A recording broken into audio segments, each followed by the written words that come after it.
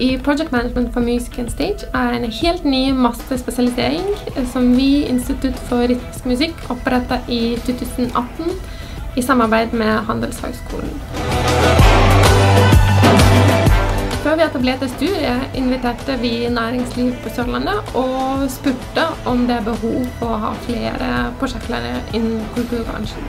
Alle de som var med i møtet, de var enige at eh, bransjen trenger flere spesialister innen prosjektledelse, og derfor fokuset på hele mastet er å ha tidlig link mellom, eh, mellom akademia, arbeidsliv og praksis. For oss er det helt essensielt å samarbeide med UiA. UiA er en ledestjerne innenfor å hente talenter til byen vår.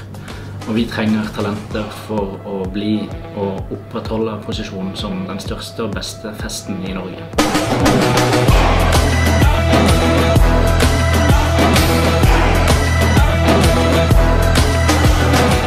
Kilden er jo en uh, organisasjon som uh, ja, det er Norges nest største kunstinstitusjon, liker vi å skryte av, etter Operaen. Uh, og vi har jo et veldig vidt tilbud av aktiviteter her. Alt vi gjør er prosjektbasert, og det betyr at vi er avhengig av dyktige produsenter og prosjektledere i det vi gjør. Og nettopp derfor er et studie som det som nå går på universitetet, veldig viktig for Kilden og for vår del av kunst- og kulturverden. Jeg underviser i faget kulturøkonomi, som tar utgangspunkt i samfunnsøkonomi for å studere ulike deler av kultursektoren. Hva det er som bestemmer prisen på en konsertbillett, hvorfor mange kunstnere har dårlig råd, og ikke minst hvorfor vi bruker offentlige midler på å støtte kunst og kultur. Det er typiske spørsmål som kulturøkonomi kan være med å svare på.